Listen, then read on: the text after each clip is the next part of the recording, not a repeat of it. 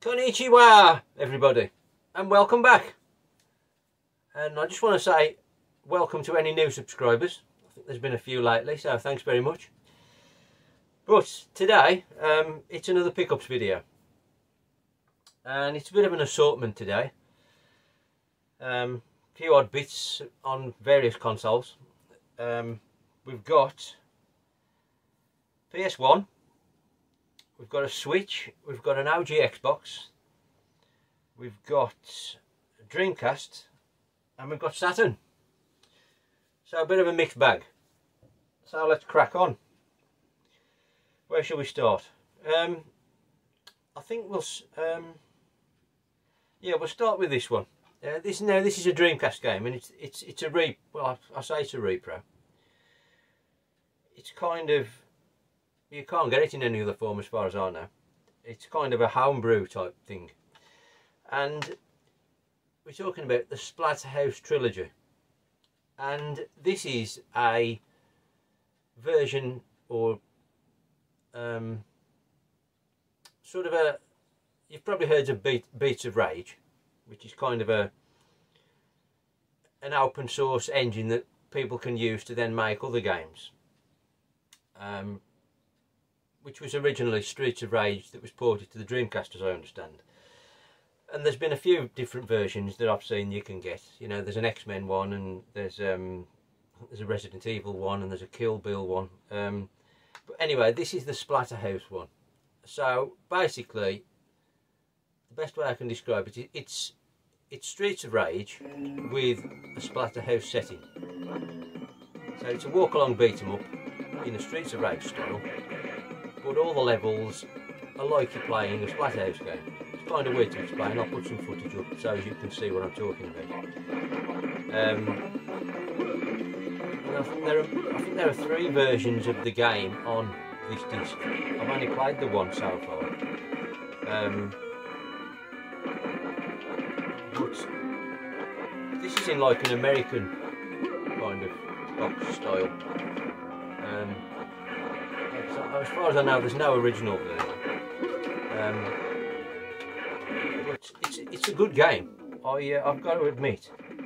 Um, you know, it, it's it's fairly basic. It's just to walk along beat 'em up. There's, there's no sort of extra like mad stuff. It's it's just your, basic walk along beat 'em up. But if you like that, you know, it's it's fantastic. And obviously you've got the added kind of um, appeal of the Splatterhouse games, which, you know, they're fantastic, aren't they? I found it great, to be honest. Um, I'm definitely going to play it a bit more. Um, I've only played a bit so far, like I say. Um, but a walk along classic beat 'em up, you know, you can't go wrong really for the whatever 10 quid it costs. Um, so I think if, if you like either Splatterhouse or Streets of Rage, you're on a winner here, really. Um, and, it, and you've got a Dreamcast, obviously. That's quite essential. But there we go. That's the Splatterhouse trilogy. Um, I might do a separate video on that, possibly. Um, let me know if you, if you want to sort of see more about that. Just, and I might do it in the future. Let me know. Right. Next, I think we'll do the Xbox game. And this is an only on Xbox title, um, which I'd not seen or ever played before. And somebody else showed this very recently. I can't remember who it was. So whoever you are, I'm sorry, I can't remember it, who it was I saw show it. But I then saw this in CEX. And, and it was, I can't remember, it was about three or four quid, I think. And it was in really nice looking condition. So I thought I'm going to give it a try. And it's, I don't know what, I'm, I'm going to say Tao Feng. You, could, you might say Tao Feng, I don't know. But basically, it's a one-on-one -on -one fighter from the people who made Mortal Kombat. Only the sort of hook on this game is the fact you can damage limbs. You know, you can break their arm so they can't use their arm and so forth. Which I think is quite an interesting mechanic and the graphics are really nice I have to say Um, again, I'll put some footage up. And you can sort of see it was made by Mortal Kombat people because it, it has got that feel about it. But I just felt there was something a bit missing with this. I'm not sure the controls are fantastic. Don't really play like your classic 2D fighter as in Mortal Kombat and Street Fighter. All the moves seem to be more kind of Virtua Fighter style moves. And I don't know, it just it just felt a bit of an odd mix to me. But it, it is good, and it, well worth the three or four quid it, it sells for. Um, if you can find one in one of your local CEXs, I definitely would, you know, pick it up. And it isn't only on Xbox title. Um, I don't know, with, a bit more play, it might get better. Because, like I said, I think the graphics are really nice. So, we'll give that some more time, I think. Tao Feng, Fists, no, sorry, Fist of the Lotus. Anybody got any thoughts on that one? Right, where should we go next? Um, I think we'll go. Oh, where should we go? Um, no, we'll go. We'll go PS1. Now this. This really wasn't on my radar, to be honest. This game, and I recently Red Seven showed this, and he did a bit of gameplay on it. So once again, you know, I always learn something watching Red 7. You know, if you haven't watched his channel and you like arcade games, check him out. Amazing, amazing channel. Some great videos and he's got an amazing game room. Um, I'll put a link in the description below. But anyway, I'm digressing. It was seeing him play this game um, and I thought that looks quite good. I'm just going to have a look, see if I can find that. And I just looked on eBay. And as luck would have it, there was one ending within the, the next 24 hours. And at, at the current time when I noticed it, it was really cheap. So I watched it, put a cheeky bid in, and lo and behold, I won it. But not much, I can't remember exactly. It, it was cheap though. I'll say a tenner. It, it was cheap. And I've picked up Raystorm. Now, obviously it's a shooter. Uh, it's a Taito game. Um, and this is, um, it's obviously not the original release, it's the best of, is kind of like Platinum I suppose in, in the UK. It's a Japanese game, I, I, I forgot to say. It's in, it's in lovely condition, got the spine card. And yeah, I really, I really like the look of it when Red 7 was playing it. And um, so I was chuffed to get it. And I've had a go, and it really does look quite nice I think even even you know today it looks quite nice it has got a, a bit of a strange um, mechanic that I haven't quite got used to yet wherein there are like airborne enemies and sort of enemies on the floor if you like and you've got like a, a square box on the screen and you've got to have that aimed over what's on the floor to shoot that otherwise you don't hit it. So I found that quite sort of unusual and tricky to start with but the more I played it I got a bit more used to it. And is a really good game and it, has got some lovely uh, boss battles with some you know really nice graphics on the ships how they rotate and everything. So definitely definitely uh, recommend that one. Um, I think it's on PAL I'm not sure. I'll, I'll, try and check and put something up at the bottom of the screen if, if I can remember. But uh, yeah if you can if you can see that one sort of at a reasonable price and you like shooters, I'd definitely give that one a try. Raystorm. Now that's the only PlayStation game. Um, so next, I we might as well do the Switch game next. Um, I've gone a bit mad on newer stuff just recently, since I bought the PS4 really. Looking for sort of retro inspired stuff on, on newer consoles. And again, someone else mentioned this, and I, and I can't for the life of me think who it was. So again, I'm sorry, whoever you were. Thanks very much for bringing it to my attention. Um, and I'd seen, I'd looked at this on uh, Amazon, and it was only about 15 quid, I think it was. Oh, I'll tell you who it was. It was um, Payne, that's who I saw with it. Um, he was playing it on one of his videos and said it was quite good and I did think it looked good so that's when I looked on Amazon found out it was 15 quid and I, I put it in my basket but I didn't buy it then a few days later I was in game. And I've picked up Rad Rogers. Radical Edition. Now it's kind of a, a 2D pixelized run and gun platformer really. Um, but the beauty is in game at the moment I don't know if it's still the case but when I bought this was last week um, so you know it was early May when I bought it when we went out the I think it's the 11th today isn't it um, so yeah it was only last week when I bought it it's 6.99 in game this is um, and I think that what's it? yeah it was 6.99 on the Switch and it was even cheaper on the PS4 if you want the PS4 version I think it was might have been four ninety nine. It was four or five ninety nine on the PS4. So I'd got both in my hands and I was trying to decide which one to, to buy. And I just plumped for the Switch for the simple reason you've got the portability aspect if you want it. Not that I use it in handheld mode much. But I just thought in the future it might be more valuable on the Switch than the PS4. That was the deciding factor really. But it's a cracking little game. Um, again I'll put some footage up so you know if you like the look of it 6.99 in game I'd definitely jump on that if they've still got it in your local shop great game for the money right Dreamcast. Now Dreamcast is one of my favourite consoles like the Saturn. Um, not that many I need or want but there are there are still a few. And I've picked up Star Gladiator 2. Now unfortunately it is in quite nice condition but I can't get it to work.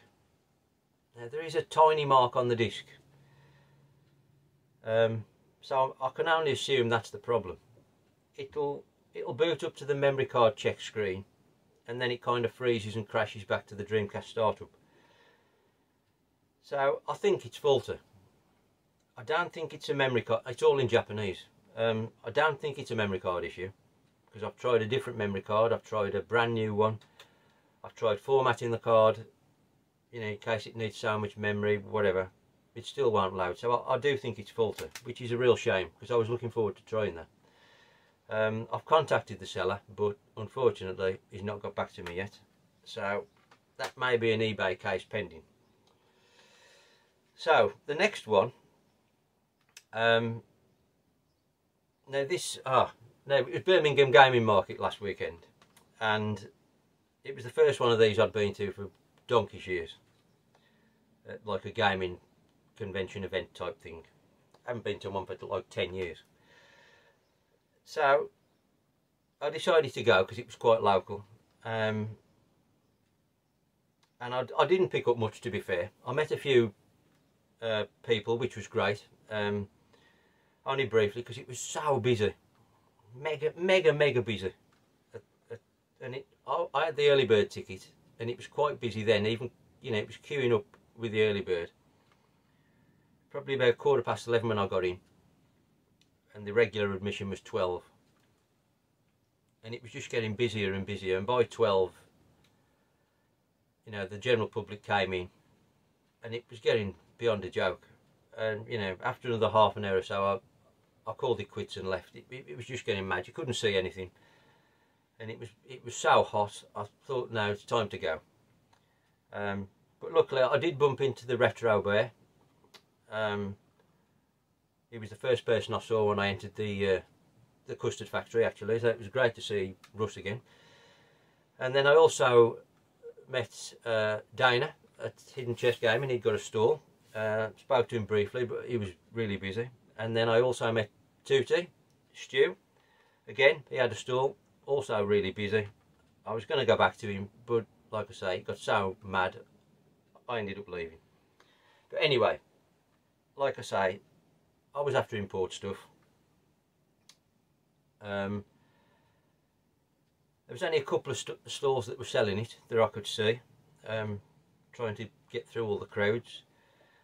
Um, and I ended up buying four games from this one particular seller. Uh, the second seller had a few I was interested in, but it was getting that busy. I, I just couldn't be asked with it, to be honest. Um, so the first one I picked up was Psychic Force 2012. Yeah, 20, Psychic Force 2012. Now this is a Taito game, and I believe it's an arcade.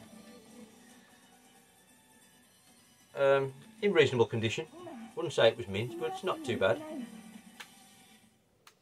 And couldn't remember ever playing this, to be honest. I'd got a vague memory of it. Um, but I've put it on, and it's kind of weird, really. Um, I'm not sure it's one you'd recommend.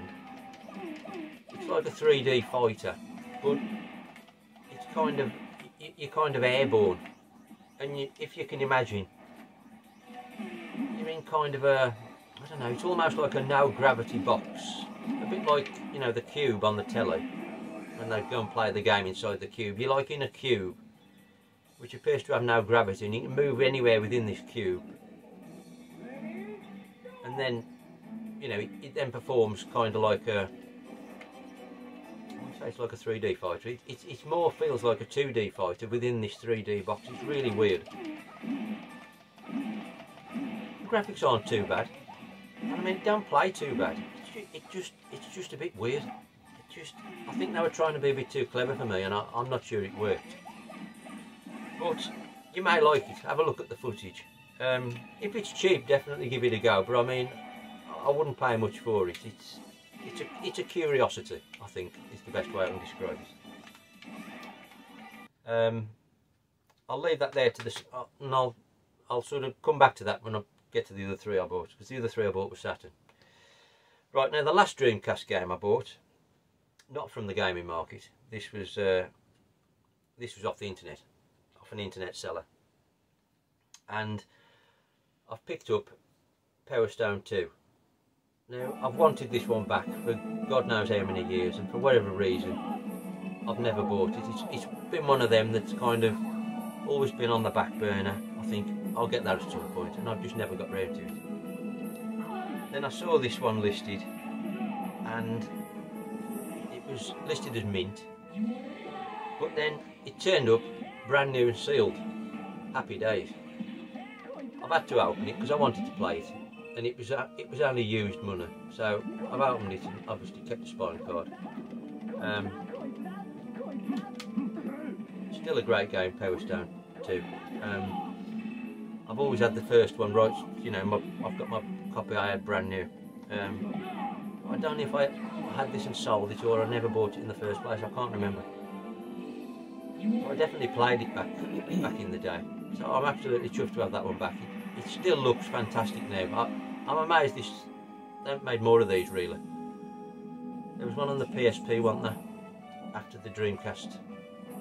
But as far as I'm aware, that there aren't any more. Well, not on a home console, but I may be wrong. Let me know if I am. Um, what a great, great game. Great sort of party fighter, if you like. Um, but equally great just to play on your own. Fantastic game, Power Stone. Either one, frankly If you've got a Dreamcast, you've got to own Power Stone. Simple as. Right, Saturn. Now, this one prop, cop, put my teeth in. This one cropped up on eBay. Um, and it wasn't one I was looking for, to be honest. It, it, but it, it cropped up on a bite now, and it was cheap. And I thought, well, for that money, I'm gonna, I'm got, got to buy it. Don't think I'd ever played it um, and it's an American game, which I, I don't go out to buy American games, but like I say, this was so cheap, I'd, I'd got to buy it. And it's Amok. Too much glare on the, there we go. That's better. Right, Amok. Now this is kind of, um, I don't know how you describe this really. It's kind of a third person shooter, I suppose in a way. Um, and I wouldn't say there was that much action. It's fairly, it's fairly slow paced, and it suits me really because I'm not into first person shooters or third person, whatever. But you've got this kind of craft, and you, it's the first couple of levels anyway. I've not played much of it. Um, you appear to be underwater, and you sort of, you've got like targets on your on your map, and you've got to take them out and sort of get to the exit. Um, I quite like it to be honest. It looks a bit bland, and it, I suppose it's a bit simplistic, but I I thought it was quite good to be honest. So I was chuffed to get it. it it's not that cheap a game usually. I just happened to drop lucky here and bought it. It was like 10 quid or something I paid for it. Um, and it's in nice condition aside from the the old boxing just snapped off the bottom which is a common fault on these, they're shit cases. But um, yeah, if you like that kind of thing, I don't think it's too bad if you can come across it, you know, it's a reasonable price. That's Amok. Right. Now these back to the gaming market now. These these are the three games along with that Dreamcast Psychic Force I bought from the one seller. And the first one I've picked up is a game I've never seen Japanese before. I remember playing it uh, when it came out PAL on the Saturn and PlayStation I think it was. And my memory was it was alright at the time. But I've never seen Japanese like I say. And it's NBA Jam Extreme. No, I did recently pick up the regular NBA Jam on the Saturn, which again is not common, Japanese. I think it's because that, that possibly came out PAL first, so now not many people imported the Jap ones. So when I saw this at the gaming market, and it was quite reasonably priced, I thought I've got to, got to try it. It's in, it's in fairly nice condition. Um, and basically it's kind of a 3D version of NBA Jam, is the best way I can describe it. Um, now I don't think the graphics on this one have aged particularly well. Um, I mean it's still alright, don't get me wrong, but it's it's not nowhere near as good as the regular NBA Jam. Um, it's interesting to see what it you know how it performs now, and it, it looks you know looks okay, but it's, it's just a bit rough around the edges, and it's it's sometimes quite difficult to see where the ball is. I thought. Um, but it was interesting, and you know, I was glad to pick it up. That's NBA Jam Extreme. Now, these next two that made up the four game bundle I bought, I've had these before and sold them and wanted them back. And I was hoping to possibly pick these up at the market.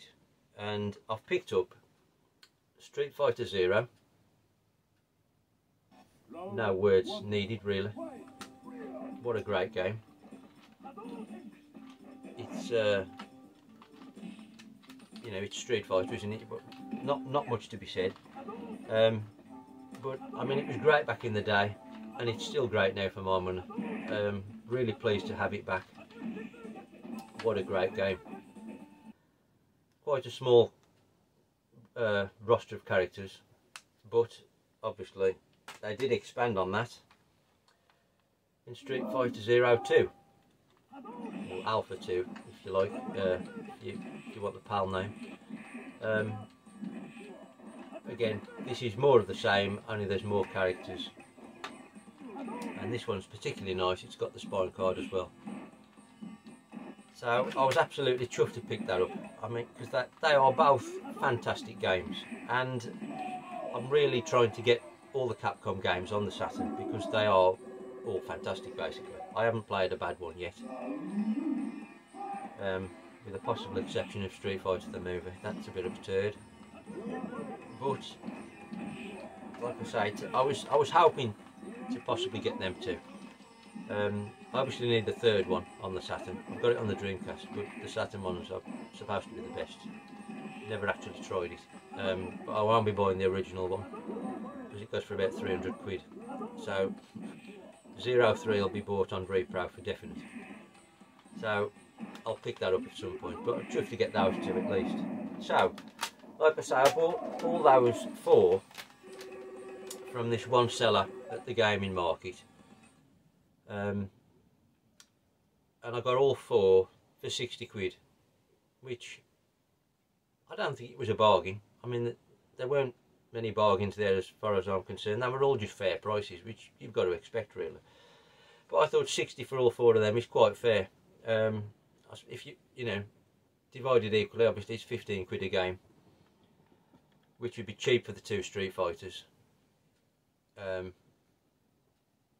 and probably, you know, that was actually marked up at a tenner, I think, and these these were more. I think Alpha Two was the the dearest, but anyway, I did a deal on 60 for the four, so chuffed with that. Frankly, that that was a good deal in my in my eye. I was happy with that and so that's two great Street Fighter games marked off the list. Right, now the last pickup, we're dragging on a bit here, I'm sorry. Now this is one I've wanted for some time and I've been sort of trying to win it in an auction for a reasonable price and I've missed a few because they've gone above where I've put in because I was trying to win it cheap. Um, or cheaper than the going rate anyway. Because um, it feels like a win then, doesn't it, if you get it a bit cheaper than the going rate. Uh, but anyway, perseverance paid off. And I've picked up Cyberbots. Now, I, did, I, I could have bought it on a repro, obviously, but I, I did want the original. Well, I'd like the original for everything, obviously, but, you know, money's a problem. With a lot of this Saturn stuff, it's crazy money.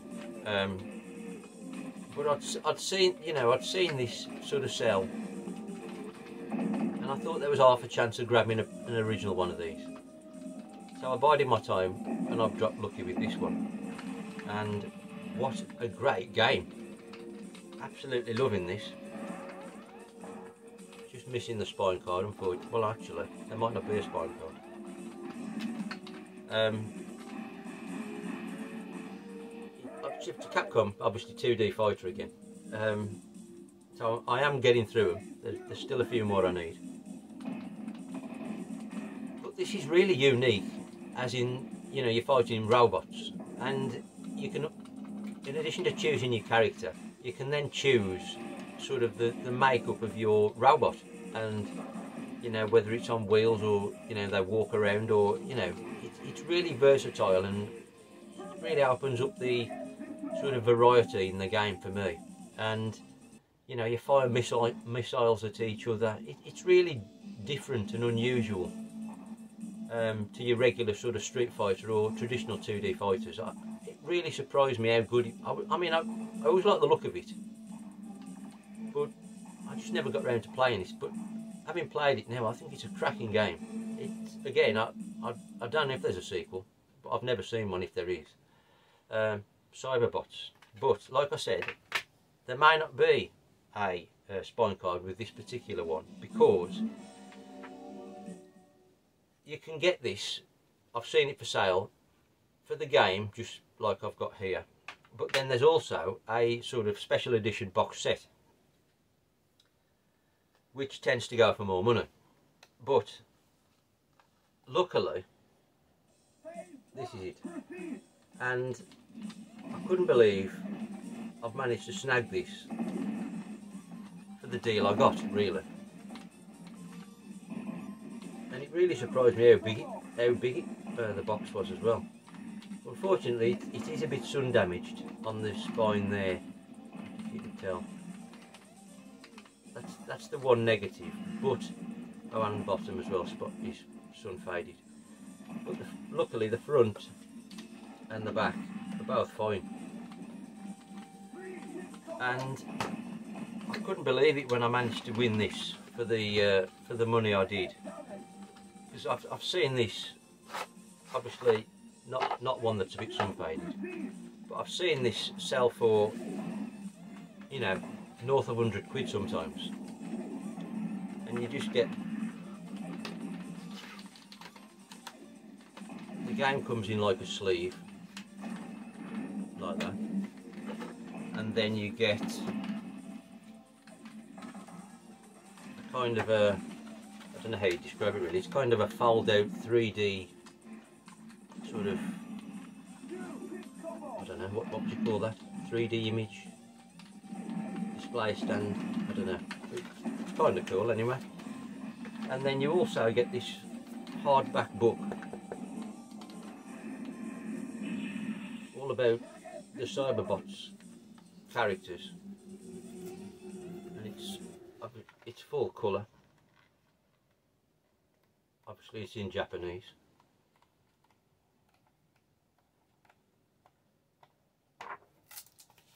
But the you know the contents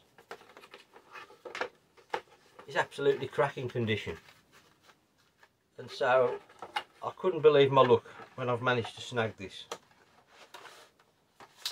I don't from I don't think anybody else bid from memory I couldn't believe the size of it when it came. I mean that's the CD you know it's it's it's, it's a massive box. But I'm absolutely delighted to get it. Over the moon with it. And especially as it's a great game as well. So I'm going to see if I can find a space for that on the shelves. And uh, you know have it on display. Because it's you know what a game. So there we go that's another pickups video over thanks for watching. Sorry it's dragged on a bit. Um, if you've made it this far thank you very much and well done. And we'll try and make the next one a bit shorter shall we? But thanks for watching anyway everybody and I'll see you on the next one. Sayonara